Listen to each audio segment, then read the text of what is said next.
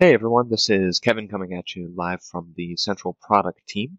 I uh, just wanted to quickly reach out and introduce some of the new capabilities that we're seeing in LogMeIn Central as of today, uh, August 23rd. So uh, first off, in order to see these new capabilities, I do just want to um, give you a little bit of background here. Uh, we do have a new host version as well as a new client version that's available for PCs and Macs.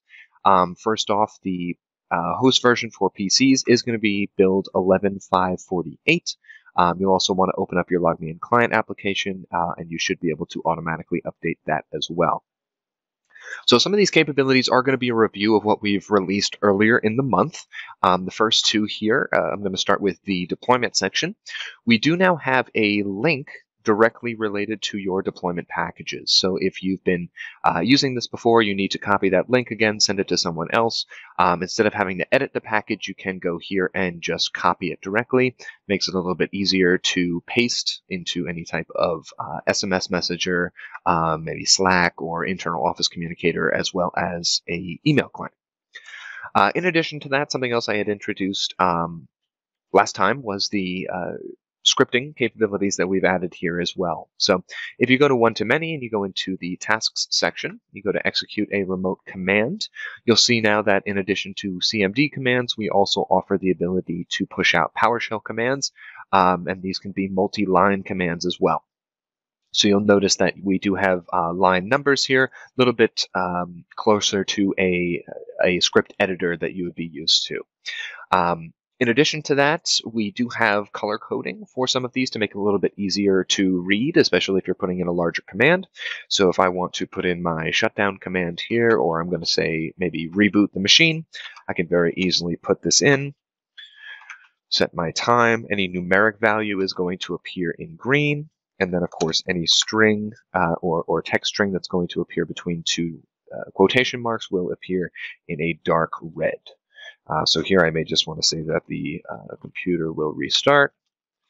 And now I can very easily read this as if I was using my uh, text editor or any type of uh, script editor. In addition to this, I did want to call out a few things here on the site. Um, we do have the community repository site still live, uh, but we have also added a community GitHub. So if you have uh, any scripts that you would like to share with others, or if you're looking to create your own scripts and want a place to start, uh, this is perfect right down here. Community GitHub is accessible uh, through just about any of the one-to-many tasks in this section. Uh, moving forward here, one of the newer features, um, we've had a lot of fixes, and you'll see these in the release notes that have come out. But in particular, I want to call attention to one, which is the report duration.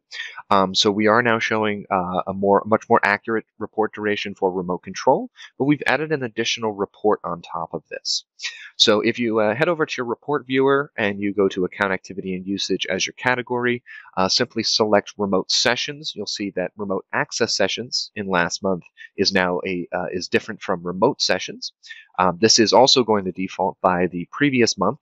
But if we click on this here and we hit view report, you're not only seeing who's been doing a remote control, but you're also seeing uh, you know what else they've been doing within LogMeIn. So uh, as background access starts to catch on a little bit more and more, um, you can see not just again remote control, but who has been accessing uh, computers from the back end or who's been performing file management, uh, really anything that's occurring outside of remote control, and you'll get the correct duration here on this report. Lastly, I did just want to address uh, some of the fixes that we've released within LogMeIn Central. Uh, naturally, you'll see these in the release notes. Um, we just discussed the report duration, uh, but in addition to that, I did want to talk a little bit about uh, Windows updates. Uh, we are now showing that the, ability to customize your uh, Windows updates, even if they're on a domain. So if your if your computers are on a domain, uh, they're no longer going to receive that banner saying that the domain uh, is preventing you from making changes to how updates are applied. Uh, in addition to that, screen blanking has also been fixed. So uh, if this is something that you've been looking at uh, for a while, go ahead and uh, make sure that, again, you update to the latest build of the host software, and that should fix the screen blanking issue that we've been seeing for a while now.